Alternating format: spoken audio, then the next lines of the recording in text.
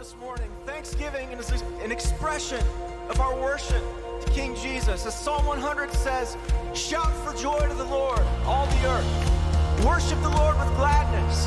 Come before him with joyful songs. Know that the Lord is God. It is he who made us, and we are his. We are his people, the sheep of his pasture. So enter his gates with thanksgiving and his courts with praise. Give thanks to and praise his name, for the Lord is good, and his love endures forever. His faithfulness continues through all generations. So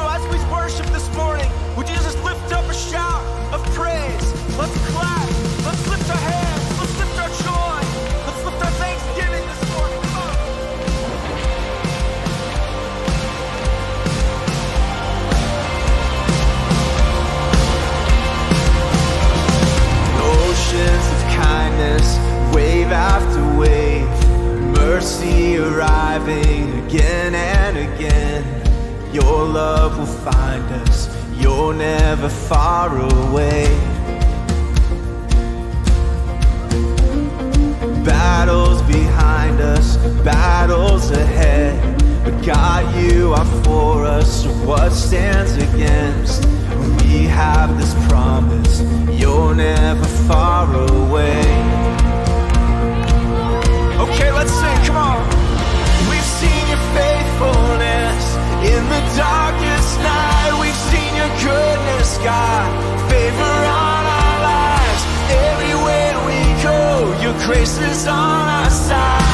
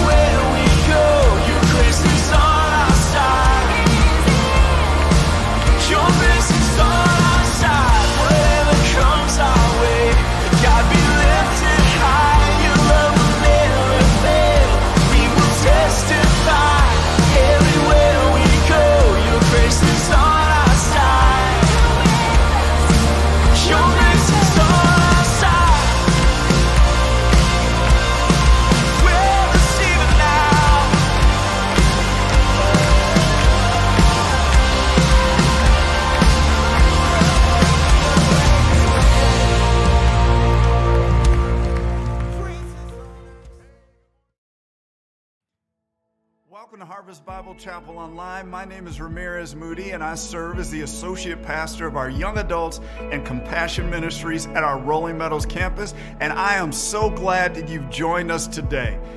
This is a very important day in the life of our church, and we're so glad that you're here and that you can be a part of it with us. Whether you're new or you come every week, I want to invite you to check in. You can do that on this page or on the Harvest Bible Chapel app. We would love to know that you're here today. Also, let us know how we could be praying for you this week. Our staff prays every week over every request submitted, and we count it a privilege to pray for you this week. You know, in 2 Corinthians chapter 9 verses 6 through 8 says, "The point is this: whoever sows sparingly will also reap sparingly. Whoever sows bountifully will also reap bountifully." Each one must give what he has decided in his own heart, not reluctantly or under compulsion, for God loves a cheerful giver. And God is able to make all grace abound to you, so that having all sufficiency in all things at all times, you may abound in every good work. Harvest, we want to help you to give bountifully and cheerfully to the Lord. Here are some of the ways that you could do that today. You can give online on this page, or you can use the QR code on this screen. You can give through the Harvest app, through a text, or by mailing your gifts to the Rolling Meadows campus. Harvest. Today is an important day in the life of our church. Pastor Jeff Bucknam begins as our new lead teaching pastor. Together as a church family, we've prayed and we've asked the Lord for his provision. And we believe that Pastor Jeff is the answer to those prayers. We thank God for his faithfulness to our church.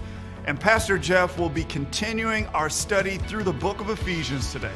So grab your Bible and meet us in Ephesians chapter 5, verses 1 through 6. If you're new to Harvest or you've come for a long time, we want to help you get connected into biblical community through one of our small groups. Small groups are where mutual ministry, accountability, care, and the application of God's Word takes place. Let us help you find one that's right for you. So, for more details, go to harvestnow.info. At Harvest, uh, working for Christ means that you roll up your sleeves, finding a place to serve, and using your God given gifts and passions on a regular basis in our church. Serving opportunities do not take the summer off. Recently in Ephesians, we looked at what God says about gifts. Let us help you put your gifts to use for the Lord. You can even take a gifts assessment test and you can find out where you are gifted. You can get more details at harvestnow.info. Will you join me as we pray? Lord, we thank you for another opportunity to come together and worship you in spirit and in truth. God, will you be amongst us as you worship? Your word says that you inhabit our praises. So, God, will you do that today? We want to have an encounter with you, and uh, so that our lives can be changed. And God, we ask these things in Jesus' name. Amen. Amen. Why don't you stand up as we continue in worship today? Oh, He's a good God. Let the King of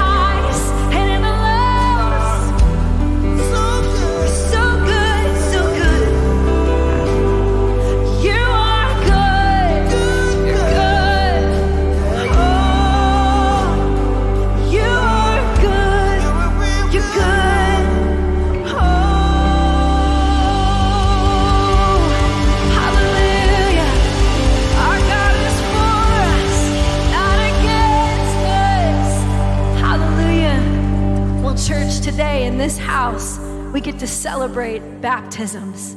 That is something to rejoice over, the salvation of the Lord. So, why don't you take a seat? It's just right behind us. All right, Harvest. My name is Ramirez. I'm being joined today by Vicky Stenberg. Uh, Vicky, why don't you tell us how life was for you before you surrendered your life to Christ? part of my life was trying to sit on the fence and be in the world and then be a Christian. And I know now that I need to be all the way Christian and be all in with uh, my Lord and Savior. Yeah, yeah. So, was there any circumstances in your life that really got your attention to make you want to surrender your life? There's been some illness in my family. My husband was ill, and so that was hard. But I kept leaning on the Lord to get us through, and He was faithful. Um, also, um, a little bit of rebellion when my kids were in high school and college. I started going out with the girls again, uh, doing some partying, and that wasn't working, and I wasn't honoring God. So I'm here now, and I love the Lord, and I want to give my whole life to the Lord. All right, all right. That's so great. So, how has life been for you since you surrendered and stopped living that lifestyle? So much more peace, so much calmer, um, uh, just so much better. Yeah, yeah, Yes. that's what happens, right? so, why would you like to be baptized today? just of my choice to to give everything to God, to just do His will and know my purpose here and to grow in the Lord all the time. Yeah, all right. All right, well, that's going to happen. All right. So, just based on that, and based on the fact that you are publicly professing your faith in our Lord and Savior Jesus Christ, okay, I'm going to baptize you. Okay. All right. So, Vicky, it is by your public profession of faith in our Lord and Savior Jesus Christ that I now baptize you in the name of the Father, and of the Son, and of the Holy Spirit.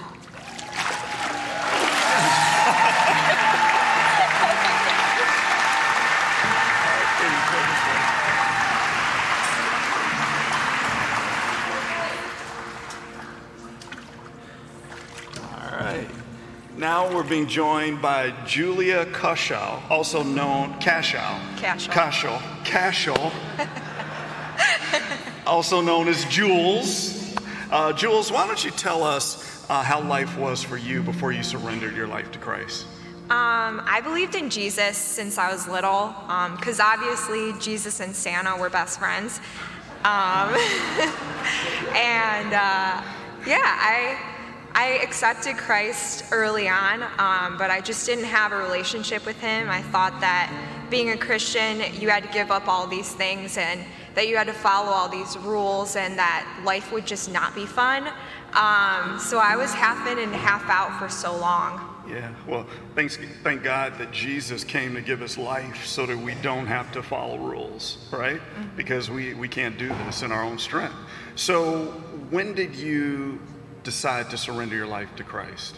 Um, I came to Harvest in 2017, and uh, the Holy Spirit spoke through the pastor at the time, and um, I realized that I just needed to give him everything. I had gone through one of the worst years of my life, um, and I didn't think I could get through it, and I realized um, I can't get through it without the Lord. So um, I wanted to give him all of me, not just half of me or part of me. I wanted him to have everything. Yeah, great. So, since you've done that, how has life been? Well, it's definitely not sunshine and rainbows, um, but I know that anything I go through, um, I have Christ to get me through it, and I don't have to be this perfect, successful person that needs to impress others. Like, I, my purpose is for Jesus, and that's all, you know? on. so. So, why would you like to be baptized today? Uh, to publicly profess my faith in Jesus Christ. All right, well, let's do it. All right, hold on to my arm there and here. All right. All right, Jules, is by your profession of faith in our Lord and Savior Jesus Christ that I now baptize you in the name of the Father and of the Son and of the Holy Spirit.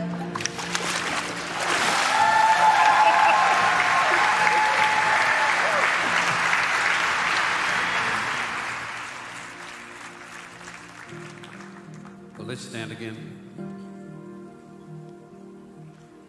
And uh, how sweet to see baptisms on this amazing weekend.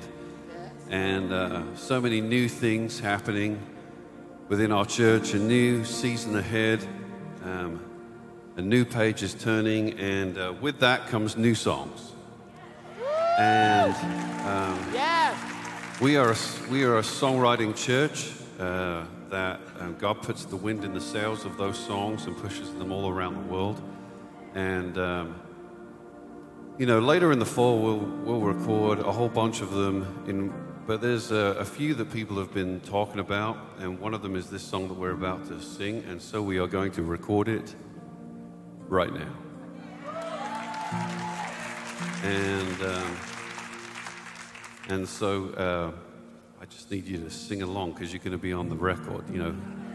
And uh, and then right at the end of the service, I really want to ask you very kindly, just after we're done with today's service, we're going to sing it one more time as well, because the people who count really want us to, uh, who uh, put this song together on the back end of it. Kyle's actually one of those guys as well, and uh, really need like a second recording of the song. So, you ready? Okay. It's exciting, exciting new day for our church. New songs,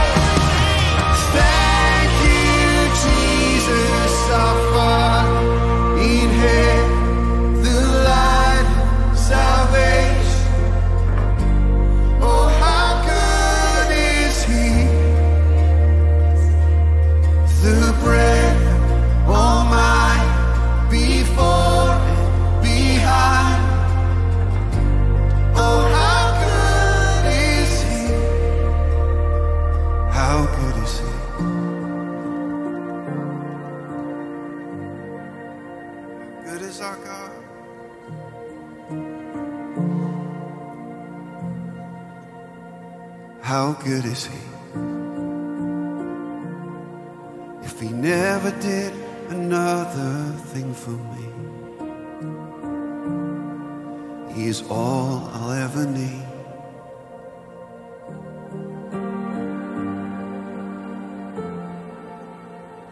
How good is he?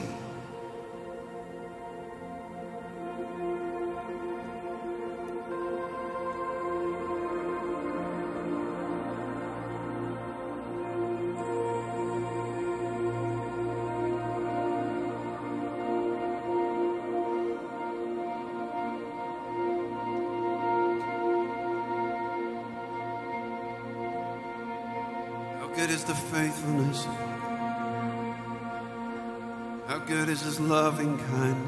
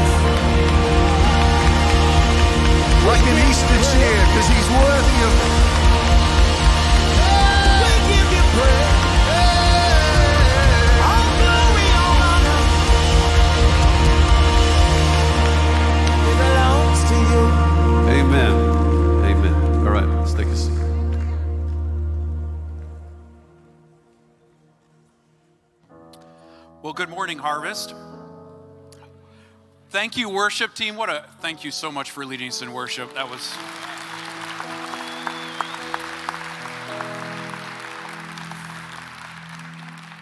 So, if I haven't had a chance to meet you, my name is Brian Laird, and I serve as one of the elders. And in fact, I'm, I'm the chairman of the elder board. And I just want to welcome all the campuses that are joining us this morning and everybody online. Um, I um, have the opportunity to be up here with the elders and the campus pastors as we're going to pray over Pastor Jeff. We are so thankful. In fact, a couple months ago, I, I had the privilege of announcing that we hired Pastor Jeff. And today I have the honor of praying, over, praying for our church and praying over him as he starts his ministry here. Um, so I would actually like, as we move forward, I would love if you would just, I, I sorry, wow, a little verklempt. Um, so I would love it if you would pray with us. Thank you. I would love it if you would pray with us. If you would just reach out um, and join us in prayer as we go to the Lord and just ask Him to bless our church and, and uh, bless Pastor Jeff and his family as they come. Would you join me in prayer? Oh, Heavenly Father, Lord, thank you so much for uh, this day. Thank you for the worship that we've enjoyed, Lord. But, Lord, most importantly, you have sustained us through so many things. You have blessed us with faithful servants to lead us each week in preaching of your word, Lord. Lord, you've moved in answering our prayers for whom would lead this church. And that man stands here today, this morning with us, Lord. We are thankful for how many ways you have blessed us and answered prayers. Lord, Ephesians 4 11 and through 13 says, And he, that you, Lord, gave the apostles, the prophets, the evangelists, and the shepherds and teachers to equip the saints for the work of ministry, for building up the body of Christ until we all attain the unity of the faith and the knowledge of the Son of God. O oh Lord, we just ask that you bless this man. Bless him and his family as they move here. Work out all those details. Lord, will you bless him with endurance? Bless him with wisdom and grace. Lord, will you bless him as he starts to lead and shepherd our staff and us as a congregation? Lord, will you bless him as he equips us for the work of ministry? Will you bless him as he preaches your word today? and Lord, as you will it for many years to come. Lord, as a congregation, will we open our hearts and minds to what you'll have for us from your word, Lord? Will we love and support this man and his family? Will we continue to love one another as you've commanded us in the great commandment? Lord, will we not put this man or this church before you, and we will serve you and only you? So, Lord, we ask as you bless this church and this man, as we glorify you through the fulfillment of the Great Commission. We pray all these things in your Son's holy and precious name, Jesus Christ. Amen. Amen. Amen. Amen.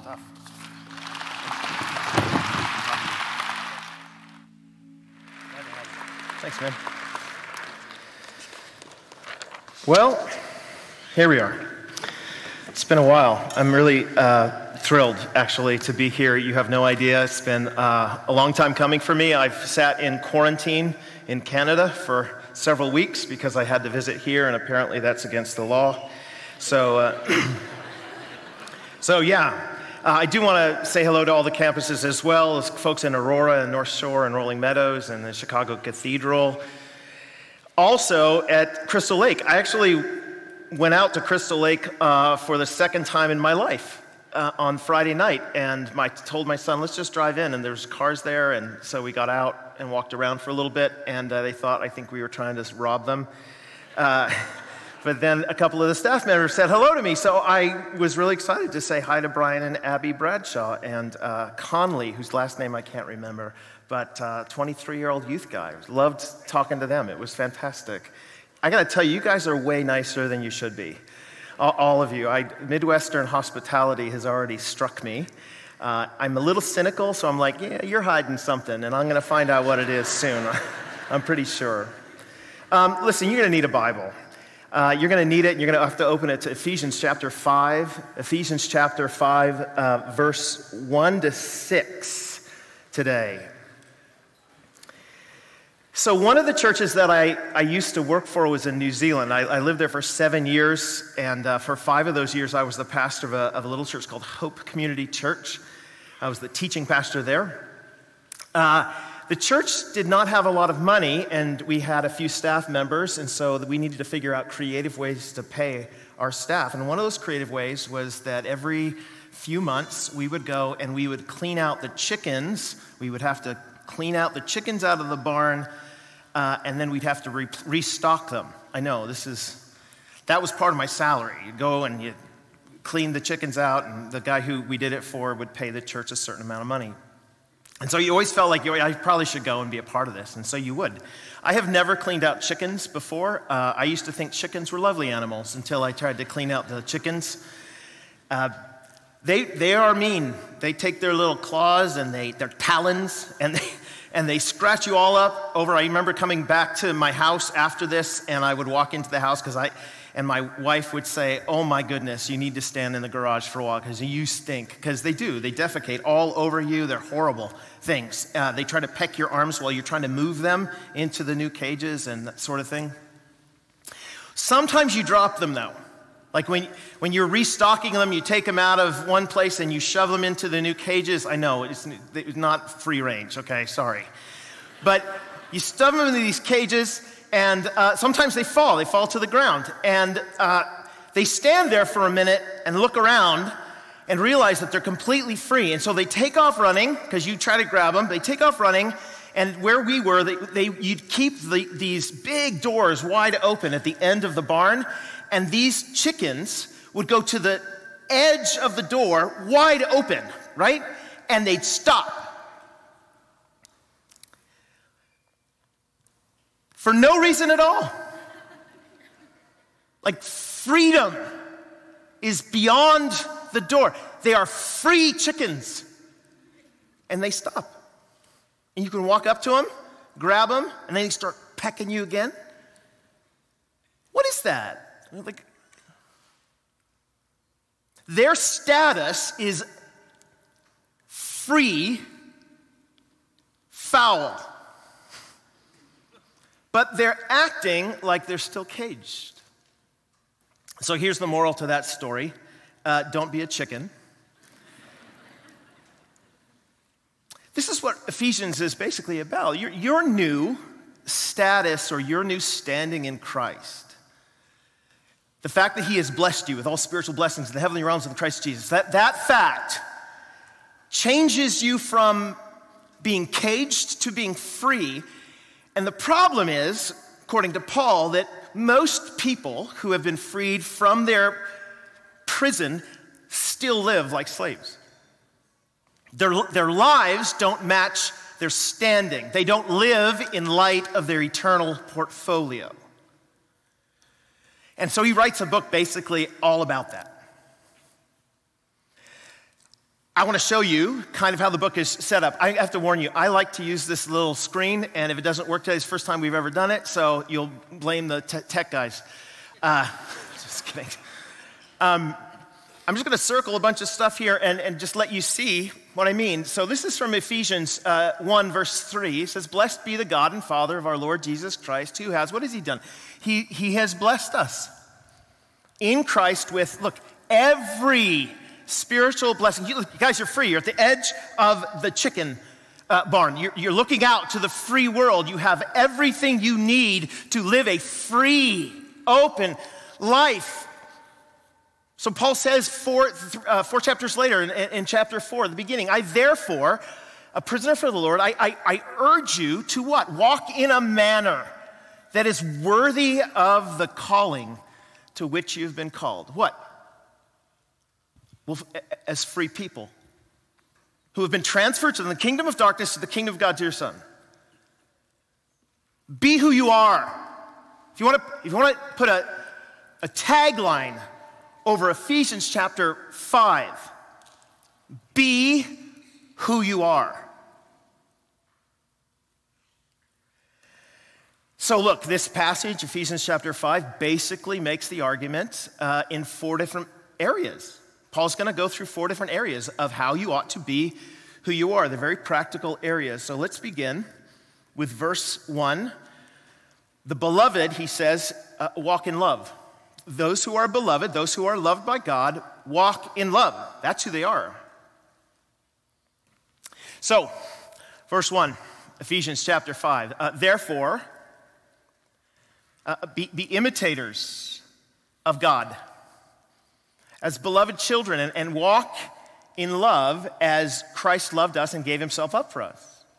A fragrant offering and sacrifice to God. Now, you, you notice I underlined imitators there, and that's a reason. There's a reason for that. This word actually means to be an, be, uh, an impersonator. Uh, it's what you do when you're trying to do the voice of Joe Biden or Donald Trump or, you know, whatever. It's an impersonator.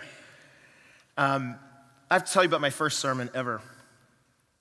Uh, I, was, I was discipled uh, as a young guy. I came to faith in Christ kind of in, in early high school. And then I was immediately discipled by uh, Ken Hutcherson, who passed away a while ago. You don't, you don't need to know that, that name, but uh, Hutch was a former football player, six foot two inch, 265 pound black man who decided to take me and a number of other white kids under his wing to teach us how to do ministry, how to love Jesus. And we'd go to his house every Monday night and we'd sit in a room together, eat chicken wings, and listen to Hutch tell us about what it means to follow Christ.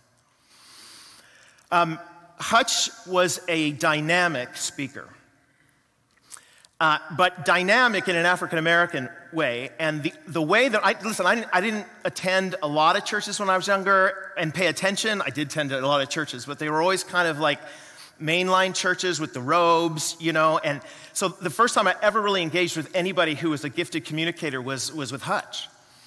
And he had a certain way, okay? Like he would say stuff like, while he was preaching, he'd say, I like that. You know, if he made a good point, I like that, right? He was congratulating himself, right? And, and he would take his Bible, they would bring the pulpit out and he'd put it right in front.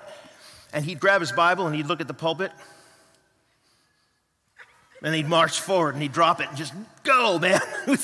he was fantastic. Anyway, so this is how I learned what it looks like to preach the Bible. So anyway, I, I the first job I ever got, my father-in-law hired me, total nepotism. He hired me to be the, the youth pastor of a church in, in eastern Washington State, middle of the wheat field. Uh, all white, all farmers. Uh, probably had never been to anything like an African American church in their, in their lives. In fact, most of them would be like, I don't, I don't know. I get to preach my first sermon. Father in law says, You're up, I'm out of town. Okay? So here's what I do I, I, I come in, and Hutch used to sit in the front row, and he used to sit with his arms on the chairs, leaning back with his. So I did that. I came in, my Bible, walked to the front row, leaned back, put my thing like this. We were singing the songs doing this the whole time, right? That's what he did. Time for me to preach. And it came up.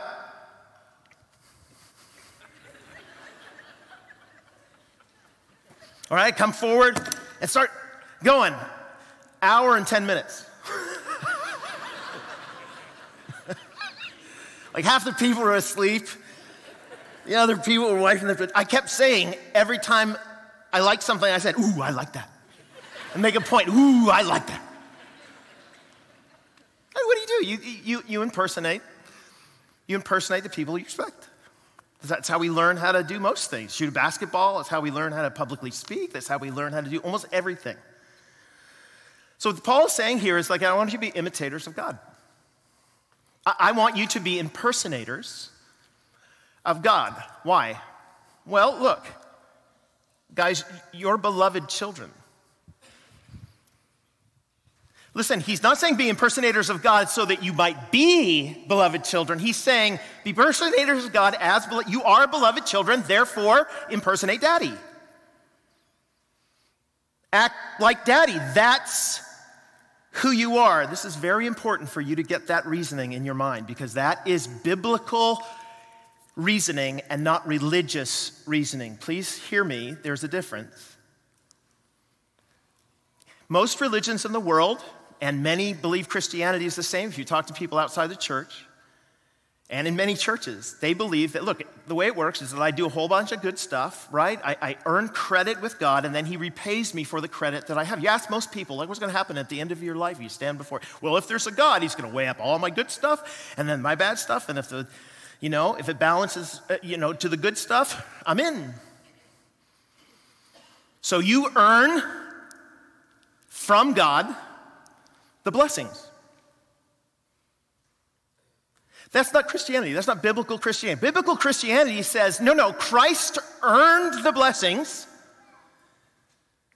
He gives them to you by faith, and now you work.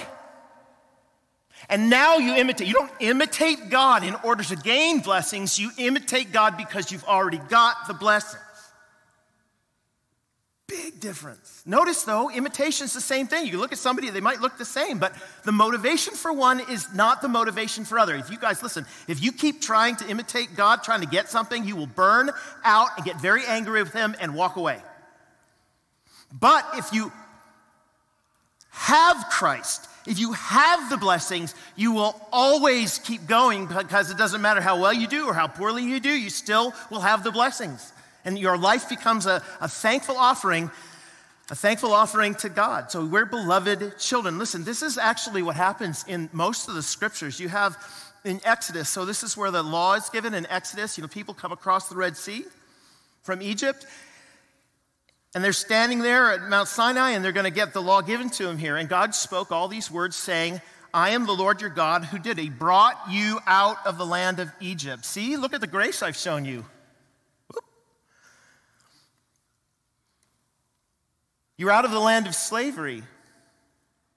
Therefore, you shall have no other gods before me. So that's the first commandment. Which order is it?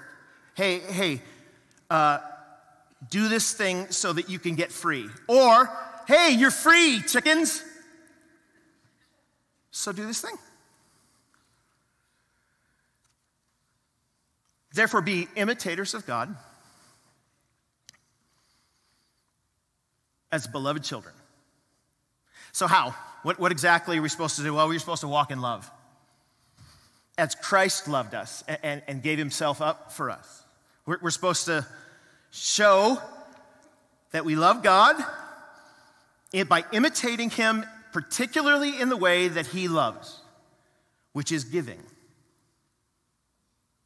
The love of, the love of God is giving. Have you ever thought about asking young parents, uh, and those of you who've already gone through, have you ever thought about asking them why it's awkward when they tell you, oh, I have no sleep and it's so hard and my, my child's up in the middle of the night and they're not doing it well and they got this cough and I don't know what to do in the middle of the night. Sometimes they sound like a seal, so I take them to the hospital. Like, and they're exhausted. They're drooping their heads and something. You ever just thought to yourself saying, hey, why not just not do this?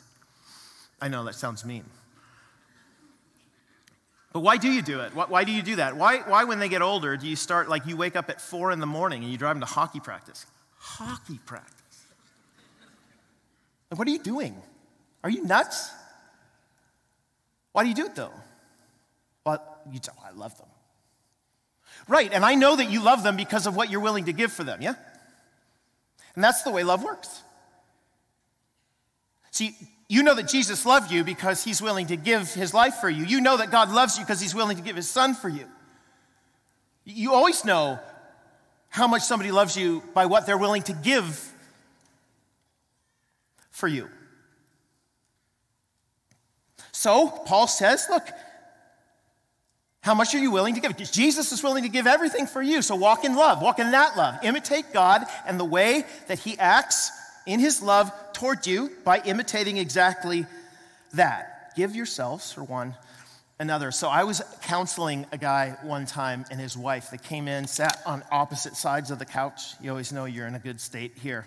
Opposite sides of the couch. And she she was, she was trying to explain that she doesn't feel loved in their relationship. And the reason that she doesn't feel loved is because um, he won't, financially, we are in dire straits, and he won't give up his pickup truck, which is costing him, I don't know how much money every month.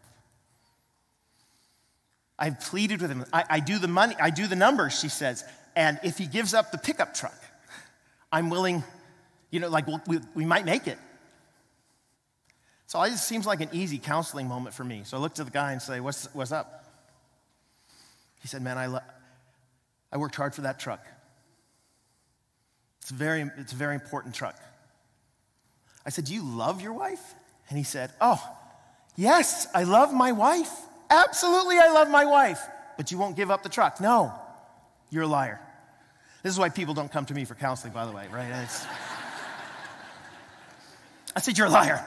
Are you, are you kidding me? If, if you're not willing to give up something like a truck, dude, it's a truck. If you're not willing to give up the truck for your wife, don't say that you love her because love is fundamentally giving to other people. And that's the love that God calls us to. And so you and I are pressed, even at the beginning here, by asking ourselves is there somewhere that we are deceiving ourselves like my counseling friend?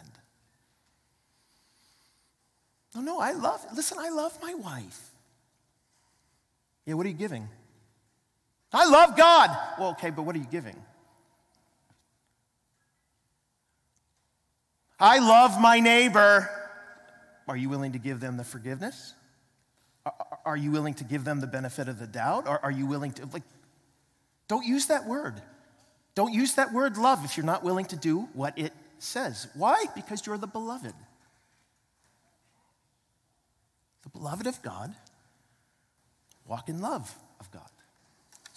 That's only the first point. You guys are dead. All right. Back to the passage, all right? So the first is uh, the beloved walk in love. The second is the holy reject unholiness. But sexual immorality and all impurity or covetousness, right? So he mentions three things here Sexual immorality, all impurity or covetousness must not even be named among you, as is proper among saints. This word sexual immorality, uh, right here, this is the Greek word porneia. You can hear it?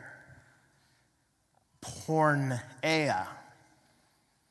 So it is a, an umbrella term, it's a catch all term. You say, well, what are we talking about here? Uh, and it means all kinds of sexual immorality. It, it, it means uh, homosexual action. It, it means uh, uh, having any kind of sexual uh, experience or contact out of a one man, one woman sexual relationship. Any, any of it, married, one man, one woman. So he says, look, look, don't let sexual immorality be, be named among you. Now, again, in the background of, of Ephesians, especially in the city of Ephesus, you need to understand that's like a big thing. What he just said there is a really big deal. Because in Ephesus, they had a big temple to this, this goddess named Artemis, and part of the worship to Artemis was visiting the temple prostitutes. Like that was encouraged. Hey, you want to be a worshiper of Artemis? Go over there to the temple prostitutes. It's your worship. So the guys would always be visiting the temple prostitutes, husbands. Also, you need to understand the only powerful people in the community were, were, were males. And if you were a guy, and especially a guy of high standing, it was expected for you to use your power and fame to coerce other people, women and men, into sexual experiences. So if you could find a young boy and groom him, that's what we call pederasty. If you could find him and you're a real high standing guy, people would not come over and say, Oh my goodness, you, you should be in jail. They would come over and go, Good for you. You're a man, they would say. If, if you would treat you, women by drugging them and having sexual relations with them, and that came known, people wouldn't be like, Oh, they instead would be like, huh, good for you, you too. Good for you. That's, that's the background. So when Paul says something like, okay, no sexual immorality or impurity, No sexuality or sexual immorality or impurity. And you can hear the Ephesians just going, whoa, that's different. So why should we do that, Paul? Well, he's going to say it in a second, but notice this next word Covetousness, we don't use that word very much, the ESV. Oh, let's use covetousness. The word means greed, okay? Sexual immorality and all impurity or, or greed should not be even named among you. So you, you know what this greed is? Man, last year I got an iPhone 11, last summer, okay? And then they came out with the iPhone 12 like three months later. And I was like, oh man, I only have 11. And that one's a 12, and it has something like 5 some, G something. I don't even know what that is, but it's way better than 4G because there's one more. So I got my 11, and now I'm really sad because I want to have a, a 12. And sometimes you come across people, I've got an 11, sometimes you come across those weird people who have, like, I have an iPhone 4. Dude, do you not know that yours is seven worse than my 11? Seven. Seven worse. And a 12, it's like 12s are three times better than your, than your four. I actually think that this 12 probably can launch missiles. It does all sorts of, do you know that? It, it, glows in the dark, it launches missiles, it'll make you, you know, attractive to the other sex. I mean, until they come out with the 13, and then you totally get the 13. Because the 13 is one more than the 12. Did you know that? It's one, it's one more. This, this drive that we have, that, that is like we, we are never satisfied with what we have and always striving for something more, that's greed. And you say, yeah, but that's everywhere in our, in our society in the West. Uh huh. That's what the advertisers want you to do. Have more. In fact, they'll say, dude, you should, you should drive forward the economy. You're a good American if you do this. Buy more, have more. That's greed. And it shouldn't even be named among you. Did you hear that? It shouldn't even be named among you. What does that mean? That means that the people outside the church, when they look at the church, they should not be able to say, you know what those guys are like? Uh, greedy and sexually immoral. So if I go to Navy Pier today and I, is it still closed? I don't even know. I go to Navy Pier or downtown Chicago and I do that Vox Pop thing, you know, Vox Pop, you, the, you, you, the, the voice of the people, you go and you, and you ask with your microphone, Hi, I am live from downtown Chicago for Harvest Bible Church. This is Jeff Bucknam reporting. Uh, we just have a question for you, sir. When you hear the name Christian, what comes to your mind? Now, in the current climate, I'm sure people would say, well, judgmental, prudes, maybe. But it won't be very long, will it, before you get into words like uh, greedy, like all the pastors? Greedy. And, and what about the, the Catholic Church scandals and the Southern Baptists and all sorts of other scandals with sexual immorality that the church hid? There's the Me Too movement and then the Church Too movement because there were so many people in church who were like, mm, I don't we're a whole lot different than, than them. And so you're going to get words like greedy and sexually immoral. And yet, guys, it's not even supposed to be named among you. Why not? Well, look, it's proper among saints. Saints is a word meaning holy, holy ones. Holy means set apart. So if I have a bunch of rocks in, in, in, a, in a group and I say, well, I like this rock, and I pull that rock out and I start to polish it up and I grind it away and I turn it into something really pretty that I can sell you at the market, I have essentially sanctified, I've essentially set apart, made holy that rock. And when you look at that rock and then you compare it to all the other rocks, you should be saying, hmm, there is a qualitative difference between that rock and all the others. So why should you look this way? Because you are this way. You are not part of the rocks. You are saints. You are holy. God has made you such. Therefore, sexual immorality, impurity, covetousness should not be named among you. Be who you are. So the holy reject unholiness. Right. The blessed, third, talk about blessings. So he goes from actions, and now he's going to go to your, to your words. Uh, let there no, be, be no filthiness, nor foolish talk, nor crude joking, which are out of place, but instead let there be thanksgiving. Three words, right? Filthiness. Let me just deal with the first two. Filthiness. Uh, what is that? My, my, two, I have two sons. My two sons learned every uh, bad word in the driveway of my, my home. Um, sometimes I just let loose. I'm kidding, by the way. That's not, that's not true. It wasn't me. Some of you are like, oh, you guys did your homework when you vetted him? Um, We had a next door neighbor, his name was Gary. Gary was uh, a construction worker. Gary was, he was a really nice guy, but every day after work, he would get together with his buddies. He had turned his garage into this man cave thing. It actually had a bar in it and TV screens.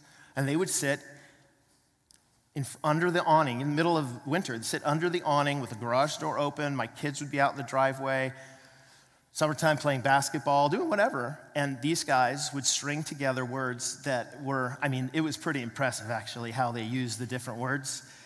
My kids would come into the house and say, Dad, what does beep mean?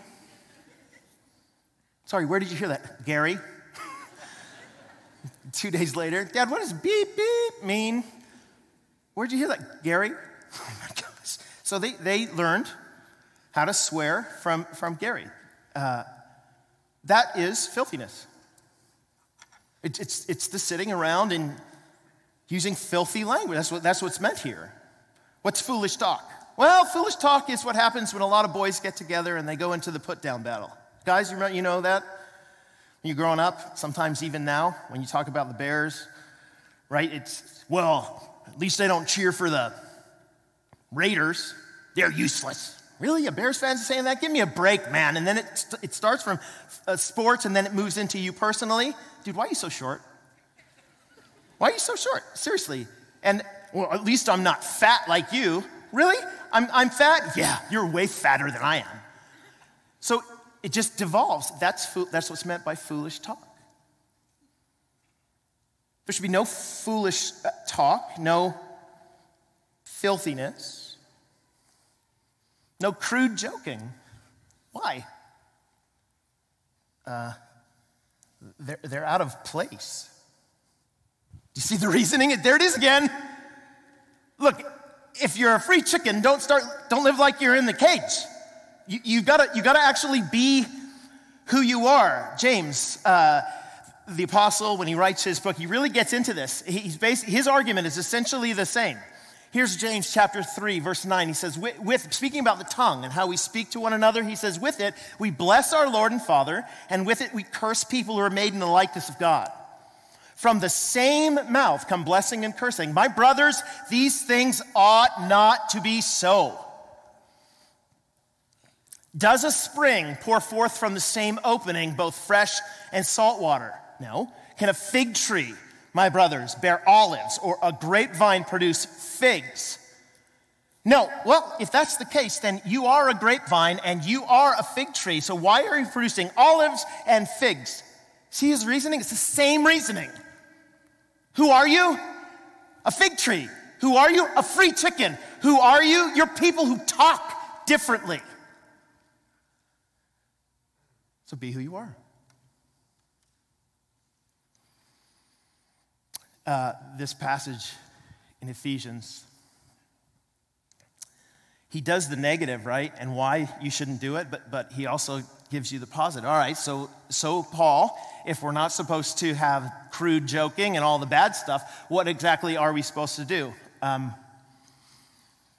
uh, let there be thanksgiving. In other words, Christians should be marked by their thanksgiving to God. You, you need to know this that throughout the scriptures, you will find that thanksgiving is a mark of the regenerate. It is a mark of those who are filled by the Spirit, it is a mark. So in, Romans 1, Paul actually he's describing those who are not regenerate. He's describing people who are, uh, you know, who, who are living far from God. And he says, For although they knew God, they did not honor him as God or what? They didn't give thanks to him. What's the mark of those who are far from God? Well, they don't give thanks to God.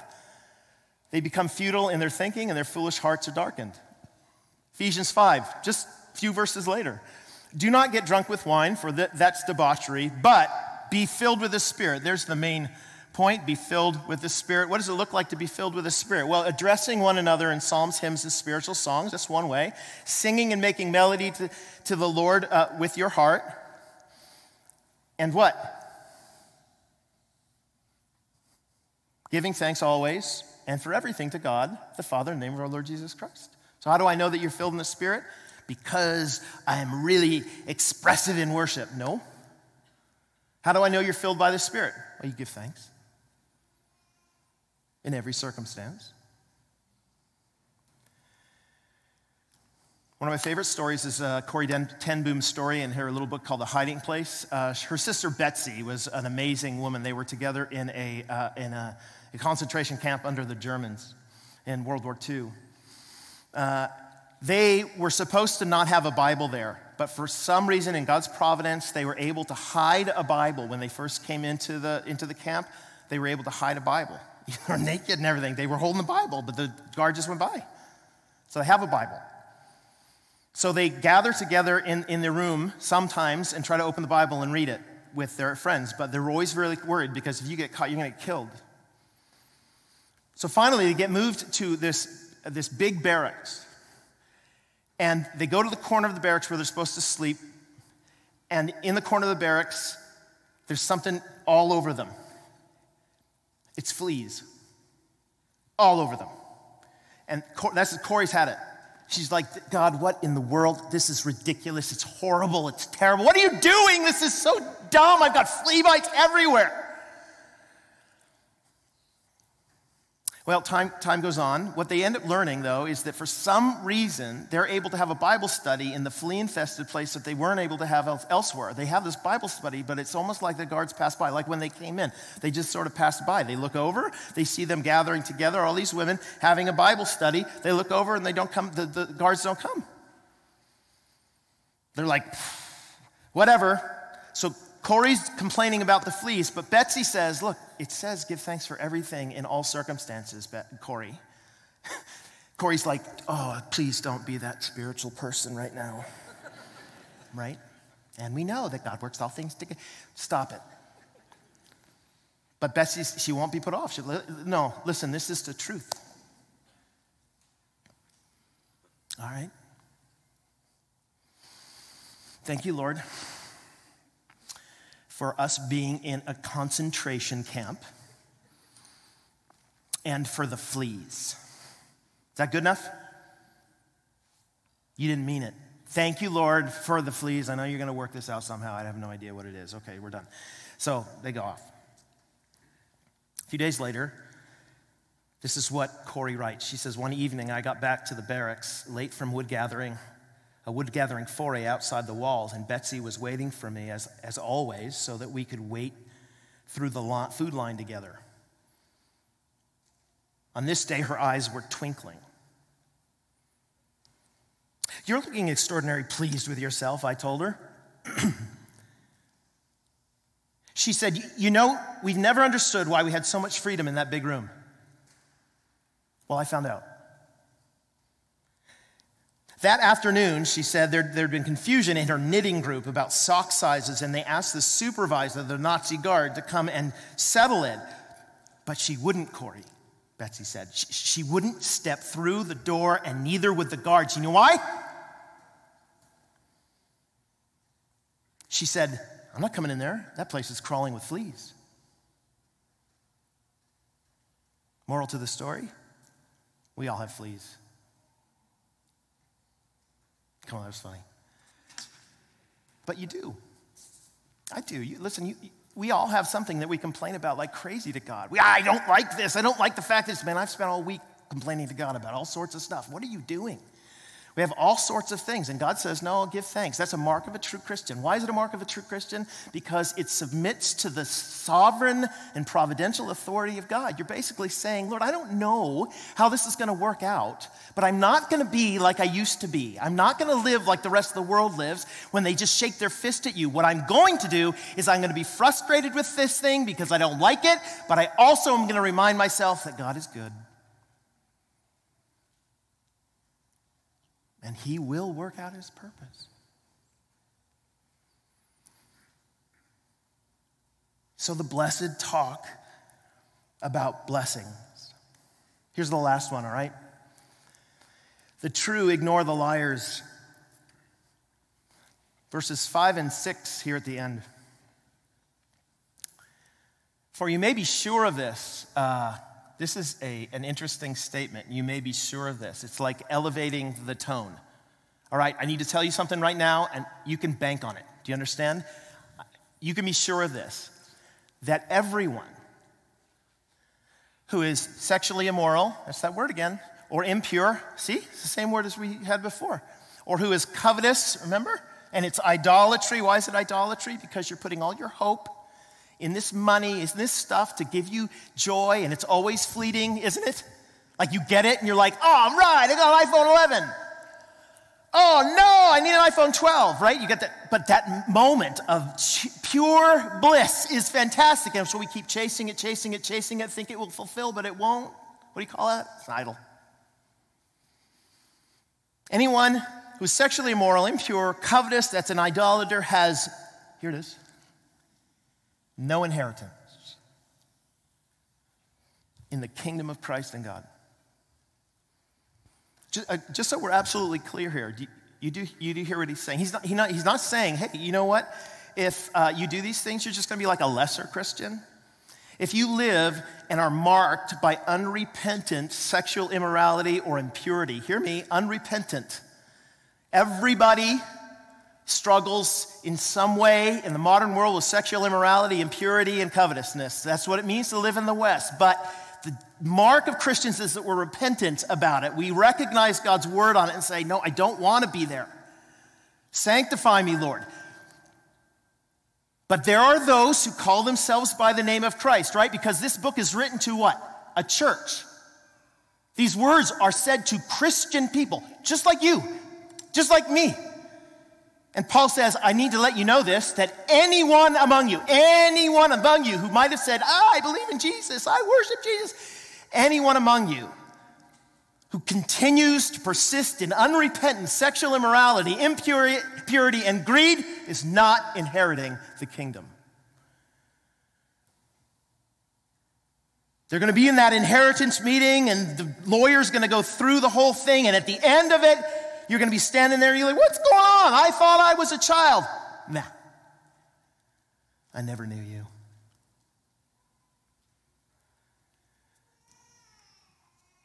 Now, listen, what people do when pastors like me say that kind of thing is they go, whatever, online, there are a lot of other people who think differently. I'm just going to go find that website.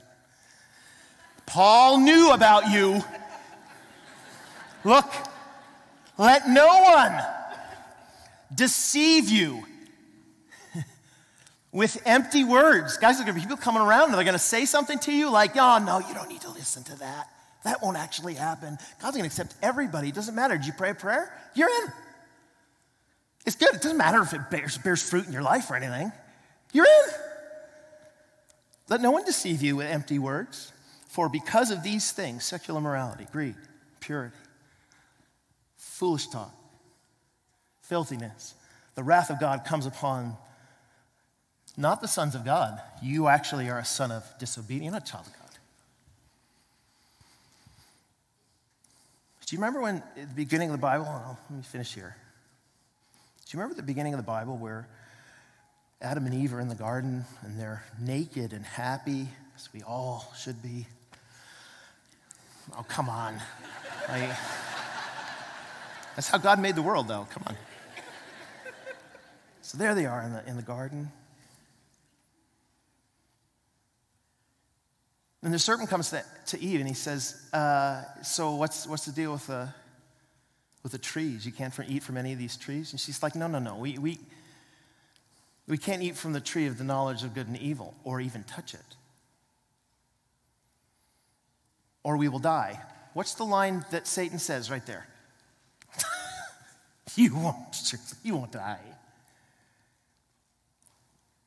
Oh, come on. It's not that big a deal. Why are you so obsessed with sexual immorality, you Christians? Why are you so obsessed with the way you talk? Stop it. This is what's wrong with the church. Say so many Christians, they, they, they emphasize these things and they declare judgment on people because they persist in unrepentant sin this way. That's the problem with the church. But don't be deceived by their empty words. For this reason, because of these things, the wrath of God comes upon the sons of disobedience. Listen. The question that Paul wants to end this on is this Are you persisting in unrepentant, self justifying, there's nothing wrong with what I'm doing, sexual immorality, greed? I earned it. Foolish talk.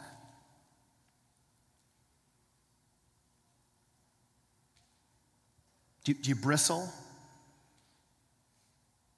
when somebody like me asks those questions? Well, listen. Maybe you're not what you say you are. Maybe the reason that you don't look like a beloved child of God who imitates their father is because you're actually not a beloved child, but a son of disobedience.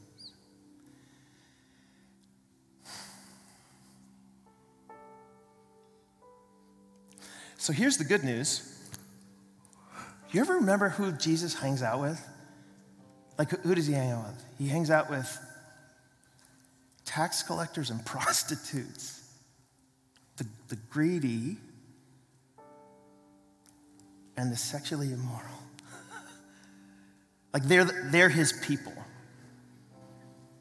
The, the ones who have spent a good chunk of their time in that world, these, these are my people, he says. You should never leave church with a burden. You, you should feel the sting of God's law and the reminder of holiness, but you should never leave unhappy because you are good news people. And you know that the response, always the response, is repentance. You're right, God. You're right, God. Thank you for the love of Christ that forgives me of sin. Fill me with your spirit so that I can live differently. Always. So you walk out the doors today. Listen, you walk out the doors today. I hope you have a burden on your back that is being lifted as you walk, as you claim the love of Christ. And if you don't know that love of Christ, don't leave here without repenting and believing. Because God's wrath will come upon the sons of disobedience. Let me pray for you. Father, I'm thankful for your word, tough as it is. But I'm thankful, Father, that you press us with your law, that you might refresh us with your gospel. So refresh us now by the power of your Spirit. Apply that gospel work that Christ has done, that surety that we are His, to the hearts of those who are His. Let it show up in our repentance from these things and our renewed faith and commitment to you. Fill us with your Spirit. And for those here, Father, who are not troubled by this, Father, help them be warned. Help them feel the warning. And this week, Lord, I pray that your Spirit would just bug them. Just bug them. That they would turn their lives back to Christ. Thank you for your word. Thank you for my friends. Help us to go forward in grace, we pray in Jesus' name. Amen.